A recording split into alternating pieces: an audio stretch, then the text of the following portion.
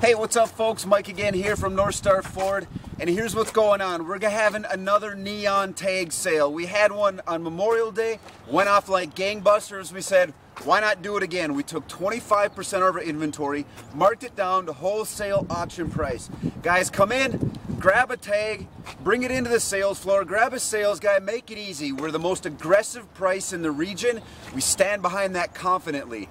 Guys, one price store, grab a tag, come in, make a vehicle yours before we ship it down to auction. What we pay is what you pay. Wholesale auction prices. Come on, guys, let's do this.